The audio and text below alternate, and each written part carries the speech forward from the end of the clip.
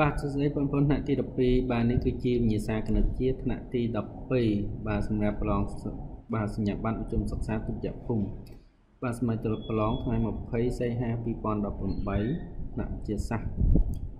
អញ្ចឹងឥឡូវយើងចាប់ផ្ដើមមើលដំណោះស្រាយទាំងអស់គ្នាបាទលំហាត់ទី1សម្រាប់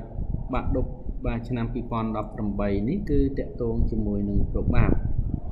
ក្នុងថងមួយមានឃ្លីសចំនួន2បាទឃ្លីសចំនួន2បាទក្រហមចំនួន4និងឃ្លីខៀវចំនួន4គេចាប់យកឃ្លី3ព្រមគ្នាដោយចៃដន្យរោគប្របាបនៃព្រឹត្តិការណ៍ខាងក្រោមអញ្ចឹងបងប្អូនពិនិត្យបាទប្រធានឲ្យច្បាស់ថាតើប្រធានហ្នឹងគេប្រាប់អ្វីខ្លះ អញ្ចឹងយើងមើលបាទអានប្រធានសាថ្មី បាទគឺប្រាប់ឃ្លីស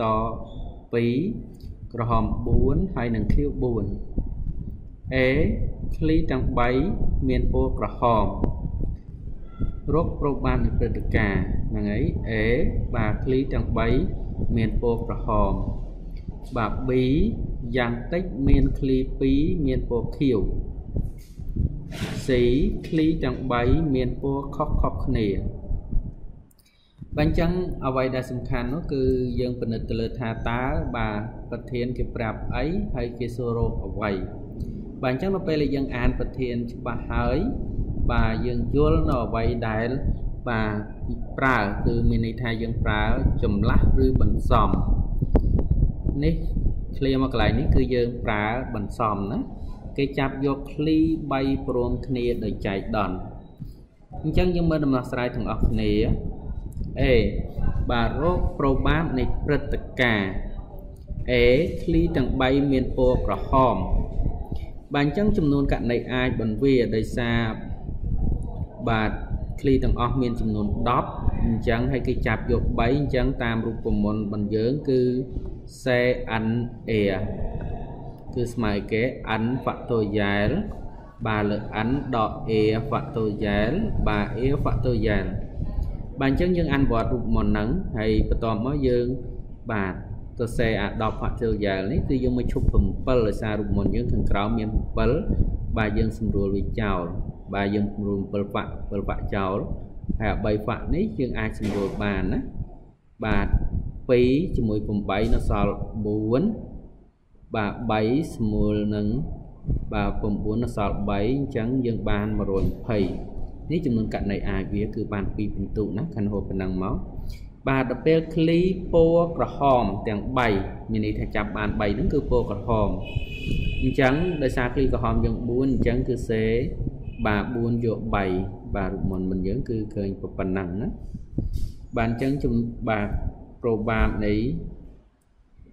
ព្រឹត្តិការណ៍ A គឺ PA គឺស្មើ NA លើ NS ស្មើ4លើ120ស្មើ1លើ30 ដូចនេះ PA គឺស្មើ1លើ30បាទបាន3ពិន្ទុ B យ៉ាងតិចឃ្លី2មានពណ៌ខៀវយ៉ាងតិចឃ្លី2មកមានពណ៌ខៀវមានន័យថាអាចខៀវ2ឬក៏ខៀវ3បាទអញ្ចឹងកន្លែងនេះយើងបានសេ4យក2ខៀវ9បាទអាផ្សេងពីពណ៌ខៀវគឺមាន6អញ្ចឹង6យក1 បូកជាមួយនឹងសេ4យក3នេះគឺឃ្លីខៀវទាំង3នេះឃ្លី2ឃ្លីខៀវ2បាទអញ្ចឹងយើងប្រើរូបមន្តយើងដដែលអានេះគឺបាទសេ NA ណាបាទសេ NA គឺស្មើ n factorial បាទលើ n ដក a factorial a factorial នឹងយើងកណនាមក nb របស់យើងគឺស្មើ40 អញ្ចឹងប្រូបាបនៃព្រឹត្តិការណ៍ B គឺស្មើ nB លើ ns គឺស្មើ40លើ120គឺស្មើ1លើ3ដូចនេះបាទប្រូបាបដែលចាប់បានបាទឃ្លីពណ៌ក្រហមបាទឃ្លីពណ៌ខៀវយ៉ាងតិច2សំដៅឃ្លីពណ៌ខៀវយ៉ាងតិច2គឺស្មើ1លើ3 C ឃ្លីទាំង3មានពណ៌ខុសៗគ្នា បាទឃ្លីទាំង3មានពណ៌ខុសៗគ្នាមានន័យថាបាទបាទឃ្លីយើងនេះមាន2អញ្ចឹង2យក1 4យក1 4យក1ហើយកន្លែងនេះតាមរូបមន្តរបស់យើងគឺ CNA CN1 បាទគឺស្មើនឹង n បបាទ cn1 គឺស្មើនឹង n អញ្ចឹងយើងដាក់យកតែម្ដងណាគឺ2 4 4មក32អញ្ចឹងពេល ប្រូបាបនៃព្រឹត្តិការណ៍ C គឺស្មើនឹង NC លើ NS គឺស្មើ32លើ120ស្មើនឹង4លើ15ដូចនេះពេល C គឺស្មើបាទ4លើបាទ15បាទអញ្ចឹងប្រូបាបរបស់យើងគឺចប់តែប៉ុណ្ណេះណាអរគុណចំពោះការទស្សនាវីដេអូនេះ